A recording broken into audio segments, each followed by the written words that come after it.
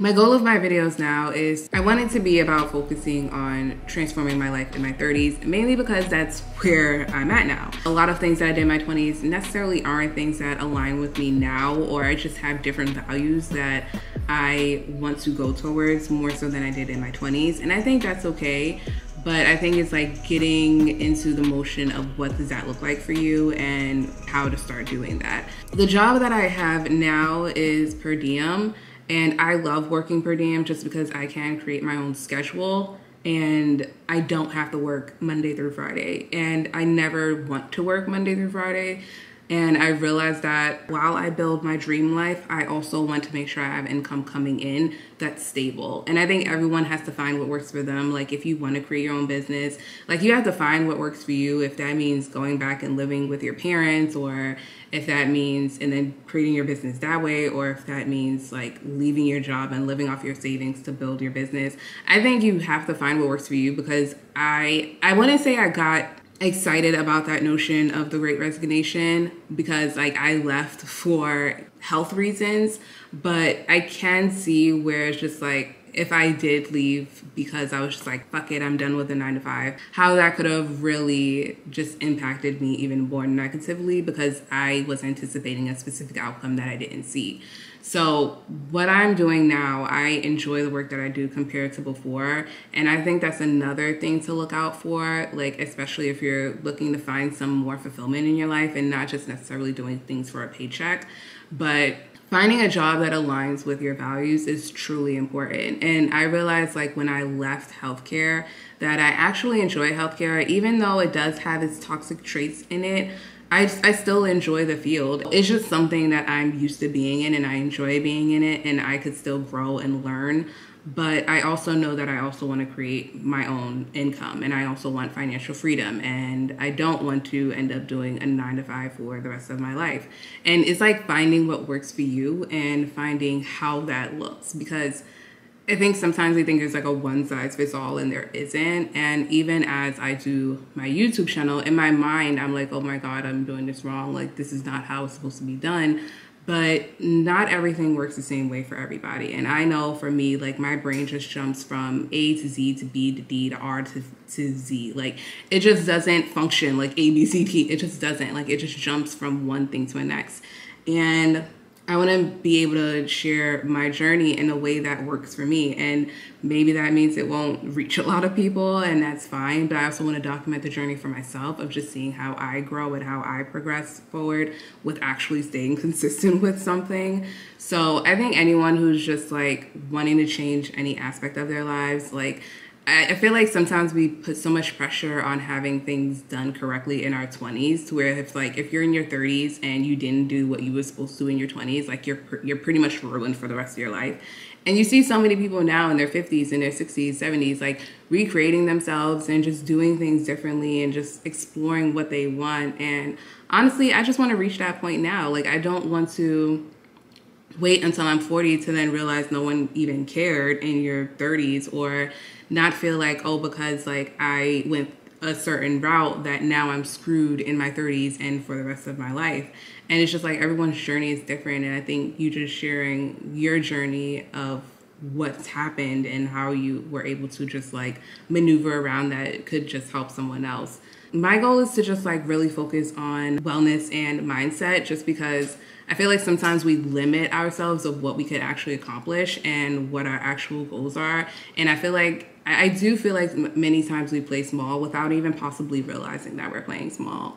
And stepping out of that comfort zone and getting out of your head and just creating and focusing on what you want to do with your future is so important and not listening to what everyone else is saying around you, but really listening to yourself and what you want for your life. I also want to express that I honestly don't like this is my personal opinion, but I really don't think nine to fives are going to be sustainable in the future, especially because if we haven't like progressed with the cost of inflation and pay by now, I don't see where we're going to have that in the future.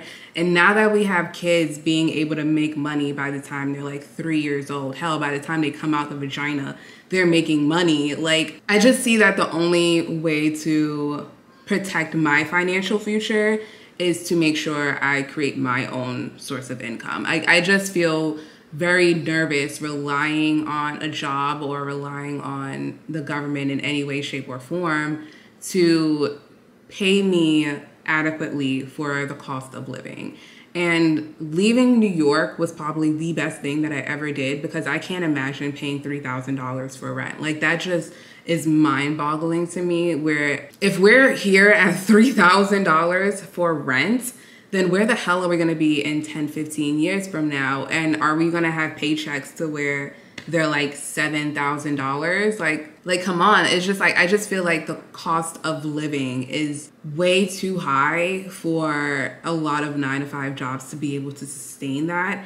And I just feel like that that gap is just going to only get bigger. Part of me just really wants to be able to live my life the way I want to live it and do what I want to do. And I think that's another thing of finding out like, okay, like is the life I am I able to live the life I want to live doing this job? Like can I do that? And I don't think everything is all about work and creating money. I really don't. I think there it's important to know like what you can contribute to the world and it's important to make sure that you have like your finances in order and what you want and what you don't want and knowing the kind of life you want to live so that way you know what kind of income you have to make to maintain that lifestyle but i don't agree in working nonstop. I, I get productivity, but I feel like sometimes productivity is really toxic because it's like you should be working, working, working, working, working, working, working. And I, I just don't believe that's the case. Like for me personally, like I've learned to set work boundaries just because at my last job, I they really tried to enhance work life balance. They really did try, but it was just like the work that was coming in wasn't sustainable for that to happen. And for me personally, like I just never cared for a job where I'm working overtime because I'm not on this planet to just keep working. And then knowing how patients end up in the hospital because they're not taking care of their health because they're putting their job first is not something that I care to do, especially if I've watched it happen. So mainly is is more so of protecting my future and of what I want for my life and what I want that to look like because I want to have a happy and fulfilling life and it's not always about money but money does play a role in how you are able to get the life that you want.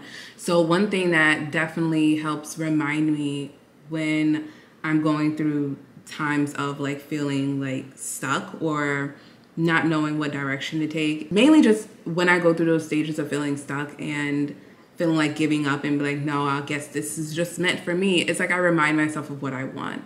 And if I can't get what I want with what I have, then I clearly have to find something different to do. And it doesn't mean that you're unsatisfied with your life because I'm very happy with where my life is right now because I have a roof over my head, I'm able to record videos, I'm able to figure out what it is I want to do with my future. Like, I live in a safe community. Like, there's nothing externally wrong.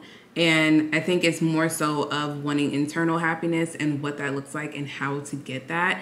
And that also means going through like uncomfortability phases of uncovering like what's stopping you from get, getting there and doing that.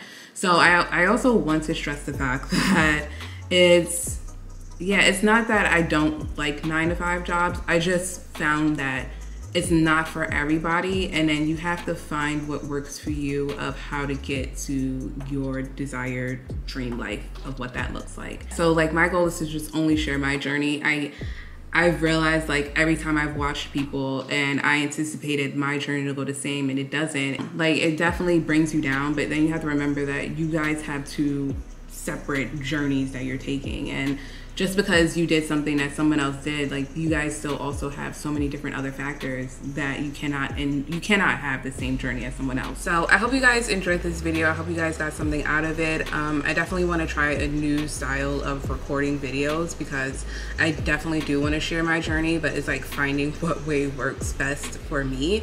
And what way that also works best for you guys. Thank you for watching and I hope you got something out of it. Um, if you're along this journey too of just like really wanting to change things in your life and just making active progress in doing so, definitely comment below um, how that journey is going for you because everyone's journey is different. So uh, again, yeah, I will see you guys in the next video and thank you for watching. Bye guys.